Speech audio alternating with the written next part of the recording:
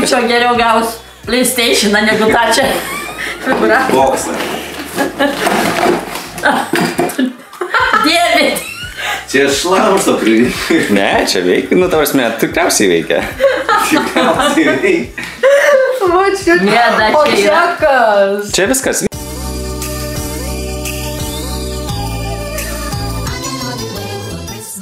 Nuostabus vakaras. Kučių vakaras. Nu tai sakyk, kad ačiū, kad žiūrėjote pas mūsų svetus ir tikiuosi toliau žiūrėsit. Ačiū, kad žiūrite mūsų laidą. Ir linkime visiems linksmų švenčių ir toliau žiūrėkite mūsų laidą.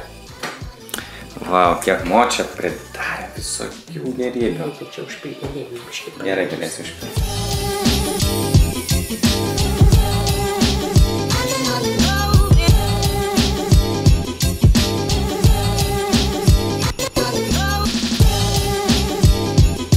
Pareklamuok tą aliejų, mo gal mus parems tuomet irgi.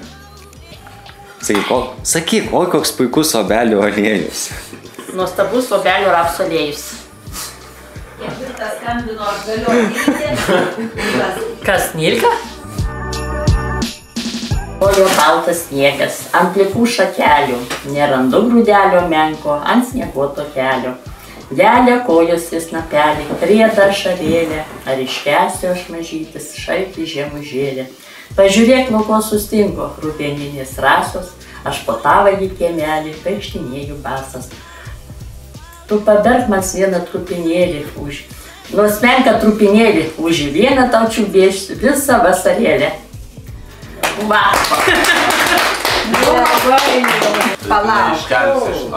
Bravo, dėsim čia. Tai va čia, kad vienu žodžiu, arimuose turėtum. Čia arimuose, kad turėtum gerą kablį. Čia pirmoji tavo knyga išleista vienu žodžiu. Į spaustuvę atiduota, čia juodraštinis variantas. O spaustuvė atiduota rimtai su kietu viršeliu. Kas norėsite įsigyti, labai kviečiame, prašom. Čia, kad daržovės užauktų, nu vis tiek ravėti reikia natūraliai su kabliuku. O čia e, šita dovana, tai aš šitoj nežinau kas, e, senelis išsaugojo paslaptį. Taip. Bet e, šito čia dovana yra skirta močiutės atsipalaidavimui. Nes e, kadangi močiutė labai paskutinių metų su kompiuteriniam technologijom susipažinusi, tai čia yra, vienu žodžiu, jai tam tikros kompiuterinės technologijos. Padas.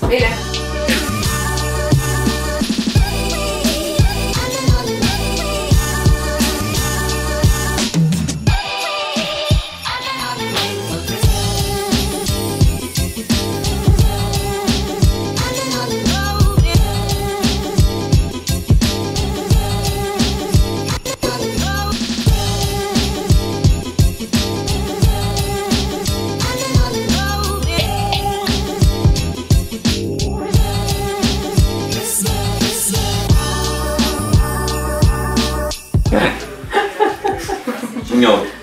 Pasidaro. Atspėjau, naktinukai čia. Va, va taip. O ta tapai, jinai Po kaip... gėlyčių. Gėlyčių. Čia Nar- kas? Narkotikai kažkokie. Narkotikai. Gerai, Paprika. atsipalaidavimui. Čia viskas aišku, ko jūs norite. Čia cukininė. Ir neugi man čia vyno pridėti. O dabar gavo atsipalaidavimą labai. Komplektuką. Parašyta viską. Viskio.